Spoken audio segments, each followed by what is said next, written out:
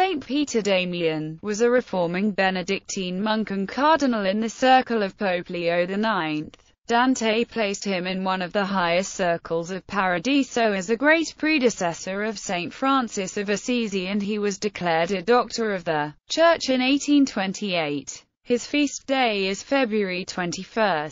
Early life Peter was born in Ravenna, Italy, around 1007, the youngest of a large noble, but poor family. Orphaned early, he was at first adopted by an elder brother, who ill-treated and underfed him while employing him as a swineherd. After some years, another brother, Damianus, who was archpriest at Ravenna, had pity on him and took him away to be educated. Adding his brother's name to his own, Peter made such rapid progress in his studies of theology and canon law, first at Ravenna, then at Faenza, and finally at the University of Parma, that when about 25 years old he was already a famous teacher at Parma and Ravenna. Religious life about 1035, however, he gave up his secular calling and, avoiding the compromised luxury of Cluniac monasteries, entered the isolated hermitage of Fonte Avellana, near Gubbio.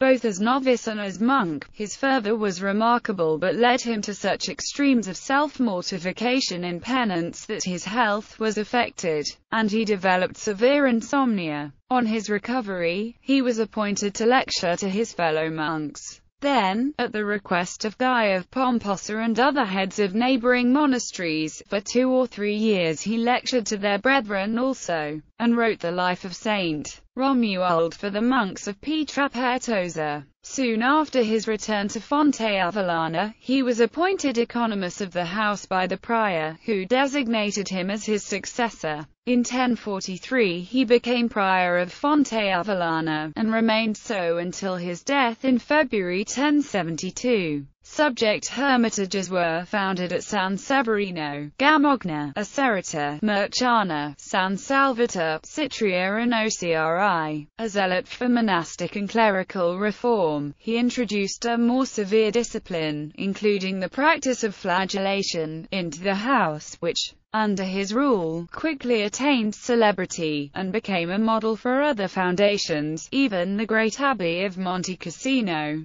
There was much opposition outside his own circle to such extreme forms of penitence, but Peter's persistent advocacy ensured its acceptance to such an extent that he was obliged later to moderate the imprudent zeal of some of his own hermits.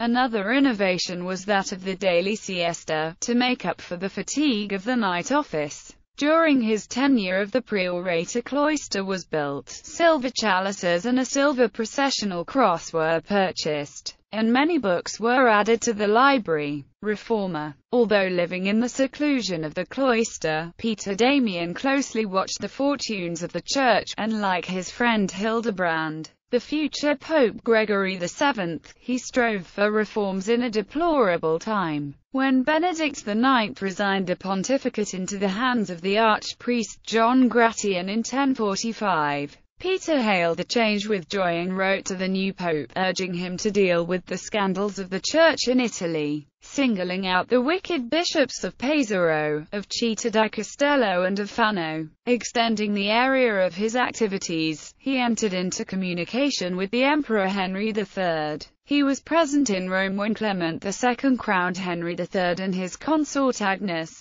and he also attended a synod held at the Lateran in the first days of 1047, in which decrees were passed against simony. After this he returned to his hermitage. About 1050, during the pontificate of Pope Leo IX, Peter wrote a scathing treatise on the vices of the clergy, including sexual abuse of minors and actions by church superiors to hide the crimes. Liber Gomorrhaensis was openly addressed to the Pope. Meanwhile the question arose as to the validity of the ordinations of simoniacal clerics. Peter Damiani wrote a treatise, the Liber Gratissimus, in favor of their validity, a work which, though much combated at the time, was potent in deciding the question in the favor before the end of the 12th century. Philosophy Peter often condemned philosophy. He claimed that the first grammarian was the devil, who taught Adam to decline deus in the plural. He argued that monks should not have to study philosophy, because Jesus did not choose philosophers as disciples, and so philosophy is not necessary for salvation. But the idea that philosophy should serve theology as a servant serves her mistress originated with him. However, this apparent animosity may reflect his view that logic is only concerned with the validity of argument, rather than the nature of reality. Similar views are found in Al-Ghazali and Wittgenstein. Damian's tractate Divina Omnipotentia is frequently misunderstood.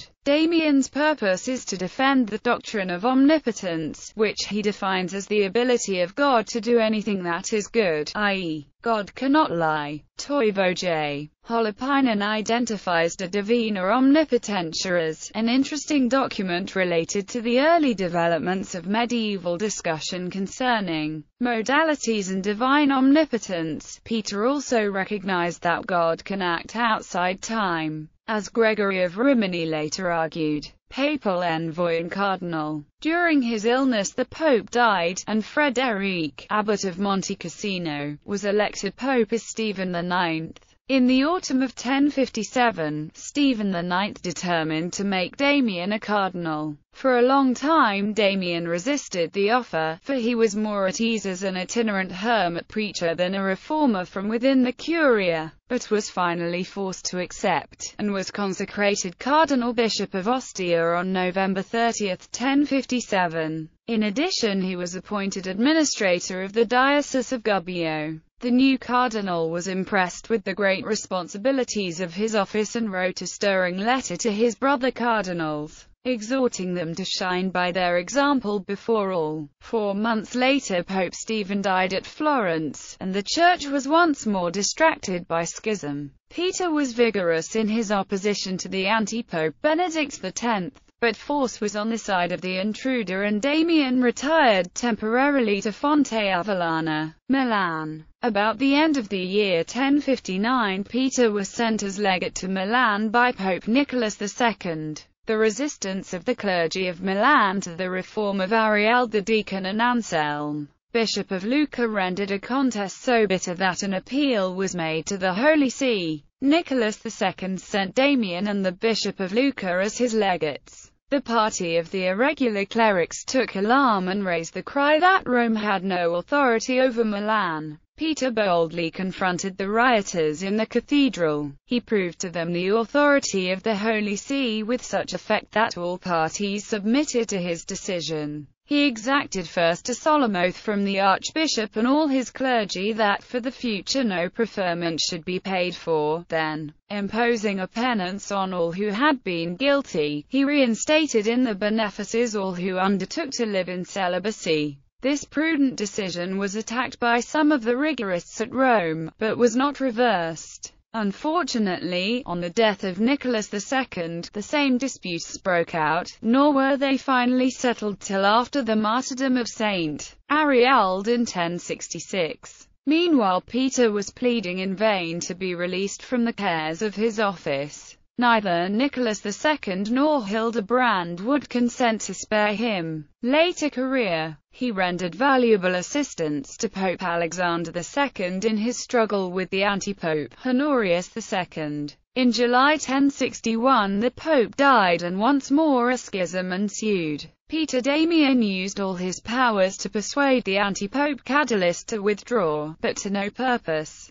Finally Anno II, Archbishop of Cologne and acting regent in Germany, summoned a council at Augsburg at which a long argument by Peter Damian was read and greatly contributed to the decision in favor of Alexander II. In 1063 the Pope held a synod at Rome, at which Peter Damian was appointed legate to settle the dispute between the Abbey of Cluny and the Bishop of Macon. He proceeded to France, summoned a council at Chalon-sur-Saône, proved the justice of the contentions of Cluny, settled other questions at issue in the Church of France, and returned in the autumn to Fonte Avellana. While he was in France the anti-pope Cadalus had again become active in his attempts to gain Rome. And Peter Damian brought upon himself a sharp reproof from Alexander and Hildebrand for twice imprudently appealing to the royal power to judge the case anew. In 1067 the cardinal was sent to Florence to settle the dispute between the bishop and the monks of Vallombrosa, who accused the former of simony. His efforts, however, were not successful, largely because he misjudged the case and threw the weight of his authority on the side of the bishop.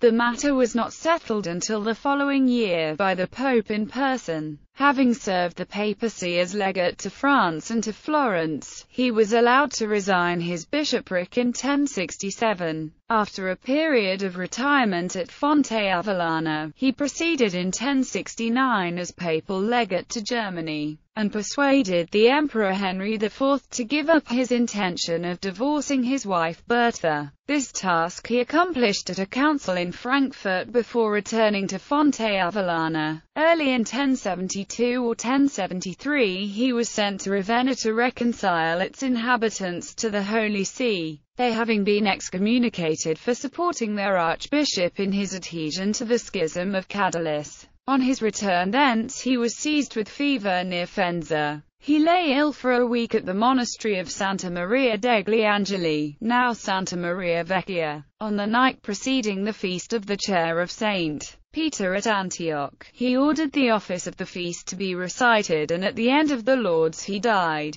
He was at once buried in the monastery church, lest others should claim in his relics. During his concluding years he was not altogether in accord with the political ideas of Hildebrand. He died the year before Hildebrand became pope, as Gregory VII.